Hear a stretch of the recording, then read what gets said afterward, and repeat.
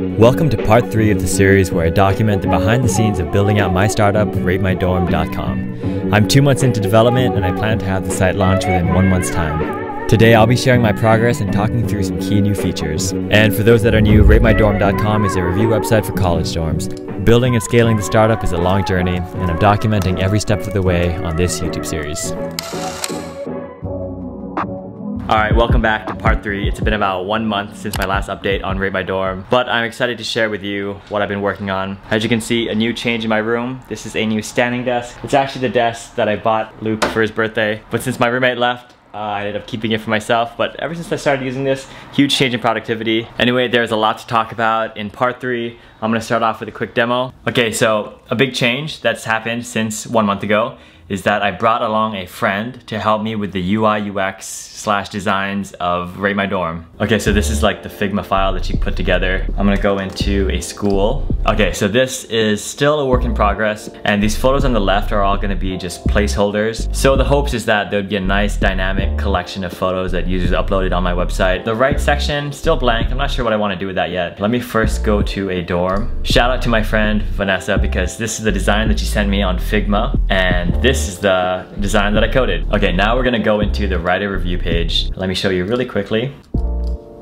Very proud of this. So I'm only allowing students to upload five photos at a time with a review, mainly just for like spamming reasons. So let me select five photos. I'm also compressing the photo both in the front end and the back end. I know this looks like it's not a lot, but this took a while to make sure it's like secure. For example, when you upload a photo, it's gonna be automatically marked as pending approval, and I'm only allowing a student to have up to 30 images that are pending approval, meaning if a student is uploading and uploading photos, once he hits that 30 mark, the back end is gonna block and time out that user. A lot of security checks I did here, and there is one more thing, and it's a big one.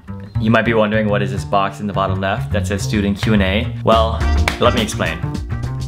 I've spent countless hours on Rate My Dorm, and since it's my first ever startup and my first ever large scale app I'm building, it's pretty much become my baby. I think the idea is solid, and I think there is a real gap in the market for an idea like this. But even with all that said, there is still that unfortunate reality of my startup idea. People would most likely participate in my app once a year because choosing a dorm and writing review for a dorm is a once a year activity. It's kind of a bummer knowing that even with all this effort I'll be putting into the site, it won't be that type of startup with daily active users. For the record, this isn't me complaining about the idea, this is just me pointing out a weakness and an area to improve in. So the question I've been asking myself is, how can I make this a site that people return to more than once a year? Introducing forums. If you go on college subreddits or Facebook groups, you'll see countless threads of people asking questions about dorms. Which is the best dorm for freshmen? Which dorm has the best food? People have questions about dorms, and this is my chance to expand Rate My Dorm into something bigger. So this is the forum, how it would look on the screen. Hot topics is just like what's So a few days ago, I called up my friend to mock up some designs for a school forum page, and today, we're gonna build it. My original goal with Rate My Dorm was to be the centralized platform for all things dorm reviews. Now, I want it to be the go-to for all things dorms. So this next phase of Rate My Dorm is creating a forum section for every school. A place where classmates can create posts, ask questions, and reply to each other in the thread below. Why should students have to bounce around Facebook, Reddit, or College Confidential to ask questions about dorms? If it's dorm related, Rate My Dorm will be the place they go. This is a huge step up from just being a dorm review website because now, students have the ability to connect with each other and have conversations. The best part is that forum posts are evergreen. If someone asks a question and there are helpful replies in the thread, the post will forever live on the site. Google SEO is key to my site's success and forums will help a lot with that. So I want to talk more about forums, but before that I have a quick announcement. I just created a page on Patreon. I've been having this little internal struggle lately where half my audience are software engineers or coders and want more technical CS content, and the other half just want to see casual vlogs from me and don't care about code at all. So I think I found the perfect solution.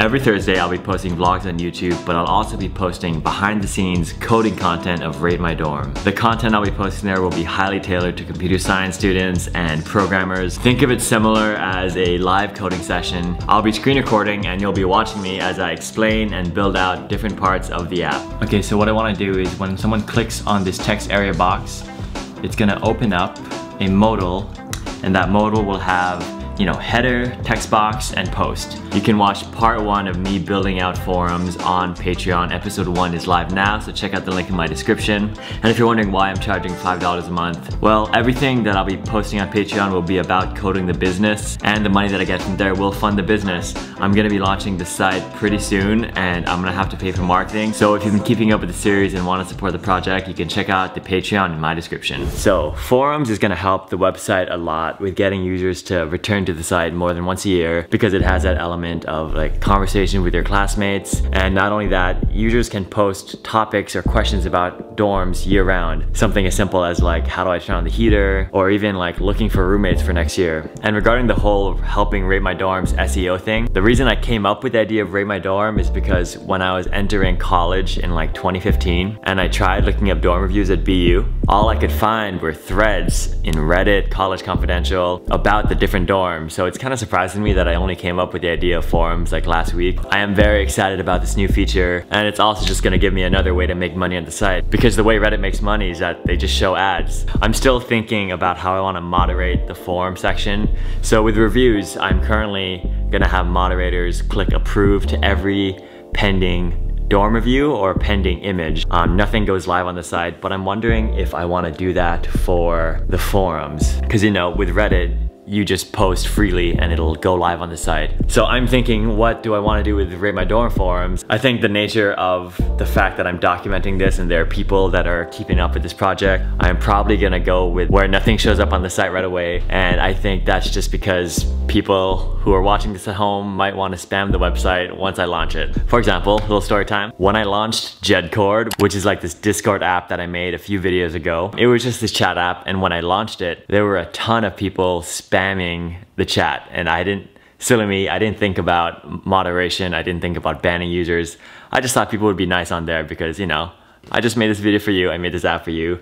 But there were a ton of people spamming with like bad comments, bad words, whatever. So learning from that mistake, um, with my initial launch, everything will be marked pending approval. And then when the hype dies down, it'll then switch to being able to post freely and then moderators deleting you or banning you. But I've been wanting to mention this about that Jedcord experience. Because everybody tried hacking me or spamming me, I spent like two solid weeks deep diving into how to write the best secure code, how to automatically censor and filter out bad words. And at the time I was doing it, you know, I spent like two weeks recoding Jedcord to make it more secure. I was thinking like, I'm wasting my time on this. You know, wasting my time on an app that's not even gonna be like a startup or anything like that. I thought it was a waste of time, but it turned out to be a great learning experience because Jedcord will be kind of similar to forums. I assigned a couple moderators on Jedcord and they were helping me like ban users and delete posts. So a lot of the same functionality and I'm excited to start. So if you're interested in watching me code forums, Patreon description. See you guys next week.